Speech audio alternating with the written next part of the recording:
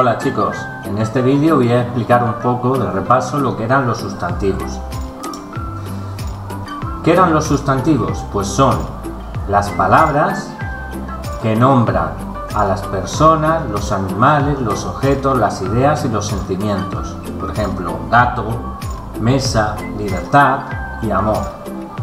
Es decir, son las palabras con las cuales le damos nombre a las cosas que nos rodean, a los animales, personas, lo que acabamos de decir, ¿de acuerdo? Clases de sustantivos. Pues tenemos los comunes o propios, tenemos los individuales o colectivos y concretos o abstractos. Vamos a ver poco a poco cada uno de ellos. Los sustantivos comunes nombran a cualquier ser u objeto de la misma clase. ¿De acuerdo? Por ejemplo, yo digo un olivo, pues hay muchas, muchos olivos, ¿verdad? En el mundo. Hombre, mujer, son comunes porque hay muchos de, de la misma clase. Un rebaño. Los sustantivos propios, sin embargo, nombran a cualquier ser u objeto distinguiéndolo de los demás de su misma clase. Por ejemplo, María, los nombres propios, el río Tajo, Plasencia, ¿verdad? Los nombres de ciudades, los nombres de provincias, de personas, y ponemos y encima se escriben siempre con mayúscula. Aquí tenéis más, Luis, Mérida, Rocinante. Pues los nombres, para distinguirlos de otros de la misma clase, nosotros le ponemos nombres propios. A nuestras mascotas, por ejemplo.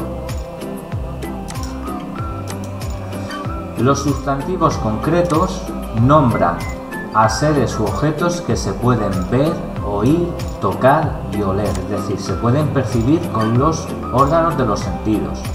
Por ejemplo, una casa, una flor, la música, ¿verdad? Los podemos percibir pues, con la vista, con el olfato, con el oído. Los sustantivos abstractos nombran ideas o sentimientos, como el amor, el odio, la alegría, etcétera, etcétera. Aquí tenéis más, la paz, la libertad.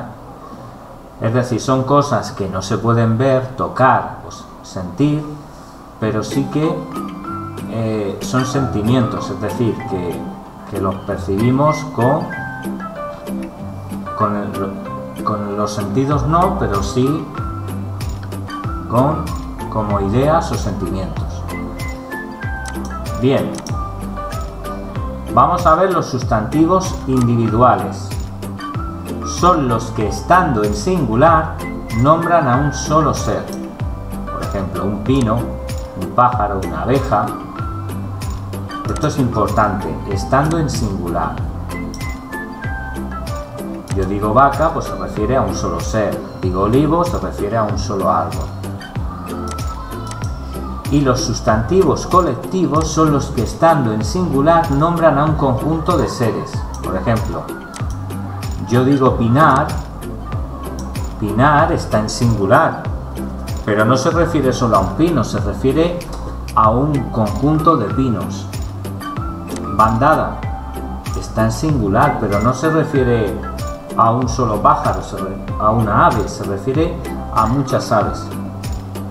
O enjambre enjambre de abejas no se refiere a una sola abeja, se refiere a muchas abejas.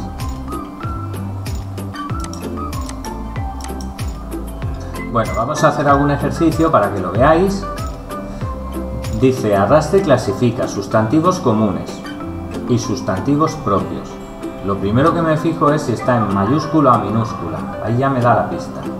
Rocinante es un nombre propio, Libro. Es algo común, ¿verdad? Hay muchos libros, muchas clases de libros. Teide. Pues es una montaña que para diferenciarla de otras montañas le ponemos un nombre con mayúscula. Montaña. Pues hay muchas clases de montañas, es común. Mesa. Hay muchas clases de mesas, es un sustantivo común. Plasencia. Pues solo hay una plasencia. ¿Verdad? Bien. Vamos a pasar a los sustantivos individuales. Individuales son los que en singular se refieren a uno sola cosa. A ver, si yo digo lápiz, se refiere a una sola cosa. Oveja, una sola cosa. Olivo, una sola cosa. Amistad, ¿de acuerdo?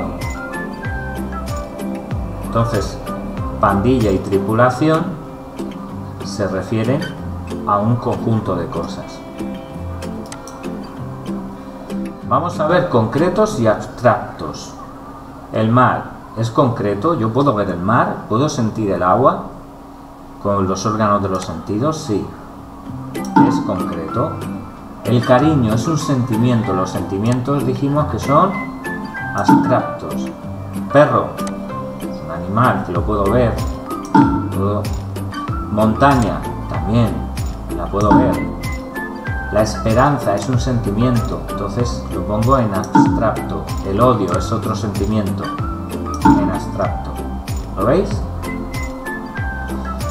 Bueno, pues esta tarde os he mandado unas actividades en Sócrates. Espero que lo hayáis entendido todo y os salga bien.